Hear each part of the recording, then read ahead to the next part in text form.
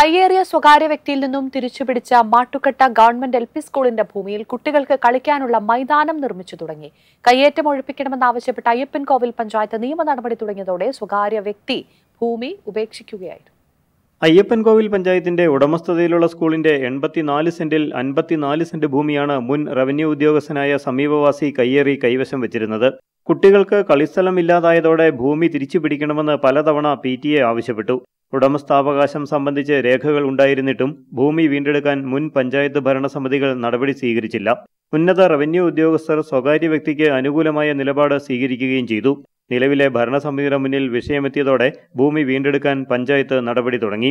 ജില്ലാ ഭരണകൂടത്തിൽ നിന്നും അനുകൂല സമീപനമുണ്ടായതോടെ കഴിഞ്ഞ ദിവസം ഭൂമിയിലെ മരങ്ങൾ മുറിച്ചു മാറ്റി. അവിടെ ലെവൽ ചെയ്യണമെങ്കിൽ നമുക്കൊരു നാൽപ്പതിനായിരം രൂപ ഇപ്പം നിലവിൽ ഇന്നലെ ജെ സി ബിയോട് ചോദിച്ചപ്പോൾ അങ്ങനെയാണ് പറഞ്ഞിരുന്നത്. അപ്പം അടുത്ത ദിവസം തന്നെ പി ടി എയും കൂടി നമ്മുടെ പഞ്ചായത്തിന്റെ ഒരു പ്രോജക്റ്റായിട്ട് സ്പോർട്സ് കൗൺസിലിന് വേണ്ടി നമുക്ക് പ്രോജക്റ്റ് വെക്കാം. അങ്ങനെ പ്രോജക്റ്റ് അടുത്ത സാമ്പത്തിക വർഷത്തേക്ക് പ്രോജക്റ്റ് വെച്ചുകൊണ്ട് അവിടെ മണ്ണടിച്ച് നല്ല ലെവലായി റോളറൊക്കെ കൊണ്ടുവന്ന് നല്ല മണ്ണ് ഉറപ്പിച്ച് ആരംഭം അങ്ങനെയാണ് ചെയ്യാൻ. ബാക്കി നമുക്ക് ഗവൺമെന്റിൽ നിന്ന് കിട്ടുന്ന ഒരു നിർദ്ദേശമനുസരിച്ച് നല്ലൊരു കളിക്കളം നിർമ്മിക്കാമെന്നാണ് വിചാരിക്കുന്നത്. വീണ്ടും കയ്യേറ്റം ഉണ്ടാകാതിരിക്കാൻ മതിലുകെട്ടി ഭൂമി സംരക്ഷിക്കും. ഒരു പഞ്ചായത്തിൽ ഒരു മൈതാനം എന്ന പദ്ധതി പ്രകാരം കളിസ്ഥലം നിർമ്മിക്കുന്നതിന് നാല് കോടി രൂപയുടെ പദ്ധതിയാണ് സമർപ്പിക്കുന്നത്. കുട്ടികൾക്ക് കളിക്കാൻ ഇടം വേണമെന്ന നാട്ടുകാരുടെ വർഷങ്ങളായുള്ള ആവശ്യത്തിനും ഇതോടെ പരിഹാരമാകും. Asianet news Idukki.